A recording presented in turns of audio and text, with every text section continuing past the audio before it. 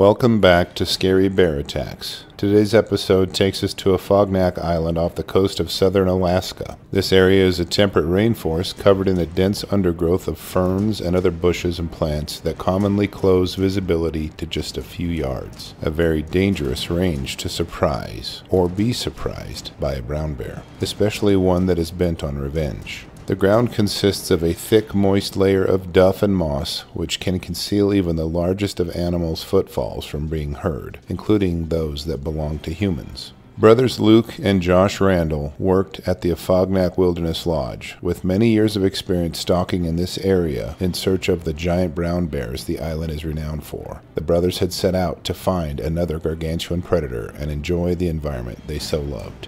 They had led their client across the scenic landscape and had glassed and observed for the better part of the day. They had seen a few bears, but were looking for a particularly large sized bear for this client. After all, if a hunter is going to spend several thousand dollars in travel, permit, and licensing, as well as guide fees, they want to bring home a trophy animal that they can be proud of. The men spotted a giant bear later in the day and watched it for some time before deciding it would be perfect. The brothers and their hunting client reviewed the layout of the area and decided on a route that would keep them concealed. A concealed approach is a must for fatal shot placement on an animal of this size and violent potential. This would preclude a shot from a long distance due to the potential of wounding the animal and reducing a humane, clean kill and harvest. The brown bears on this island are extremely robust, with their bodies featuring very thick hide draped over a second layer composed of fat and gristle designed to protect them from each other's claws and teeth during battle. Everyday life of these giant bears consists of claiming and defending breeding and feeding areas, so these protective layers are a must for their survival.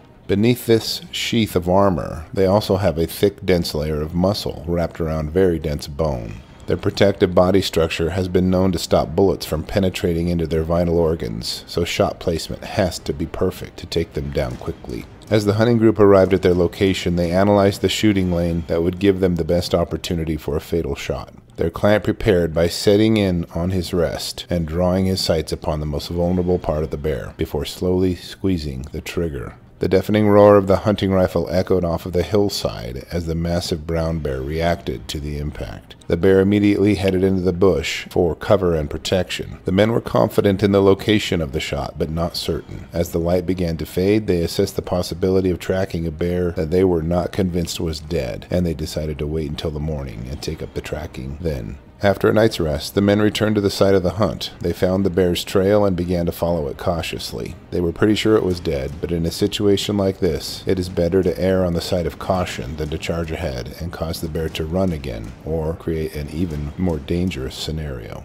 The bear trail meandered through dense patches of a plant called Devil's Club, which is a broadleaf bush that is covered in thorns. Devil's Club grows in thick clumps and effectively reduces visibility to just a few yards, creating an environment in which close range encounters are nearly unavoidable. The bear's blood trail eventually emerged from the Devil's Club and rounded a low hillside. The men continued following the blood and track trail until one of them glanced a few yards up the hill above the trail they were on. The massive Bruin was laying there, dead. They walked up to the bear and noticed the giant bear was buried in moss and duff to the point where only his head poked out. His head was resting on the ground and his gaze stared down the trail the men were approaching on. This raised the curiosity of the men, and they completely examined the blood trail they arrived on. The men were extremely surprised to follow the blood trail past the point where they were, then up the hill a short distance and back toward where they found the bear. This bear had set up an ambush over his own back trail and buried himself to conceal his location to catch the hunters by surprise to exact his revenge. The hunters had a deep chill creep up their collective spine as they realized the thoughtfulness the bear had put into this ambush. They pulled the corpse of the bear, and it didn't yet have rigor mortis. For those of you who may not know, rigor mortis is a temporary stiffening on a dead body which occurs a few hours after death and lasts for several hours or days, eventually subsiding.